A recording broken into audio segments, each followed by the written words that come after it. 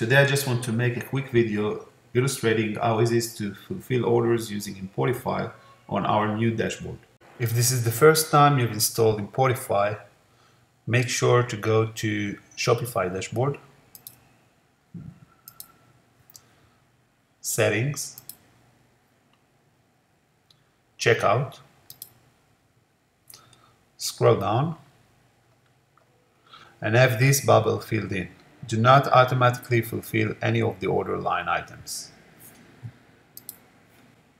So, once you get new orders coming in, simply click the order list from the side menu.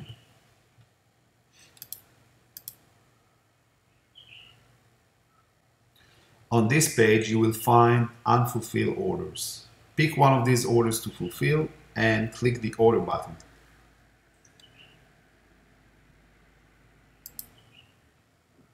Importify will automatically pick the variation and redirect to the checkout page. On this page, click the edit link